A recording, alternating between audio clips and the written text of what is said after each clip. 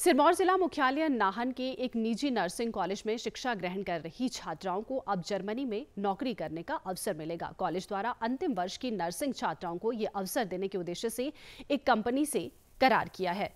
छात्राओं को प्लेसमेंट से जुड़ी सारी प्रक्रिया की जानकारी देने के लिए कॉलेज परिसर में एक कार्यक्रम आयोजित किया गया। इस कार्यक्रम की अध्यक्षता सेवानिवृत्त मेजर जनरल अतुल कौशिक ने की। कॉलेज के अधिकारी सचिन जैन ने कहा कि प्लेसमेंट मिलने के बाद जो भी नर्सिंग छात्राएँ जर्मनी जाने की इच्छुक होंगी, उन्हें पहले कॉलेज में ही दो महीने जर्मन भाषा सिखाई जाएगी। इसके बाद छात्राओं को भाषा से संबंधित परीक्षा पास करनी होगी। उसके बाद ही उनका प्लेसमेंट किया जाएगा।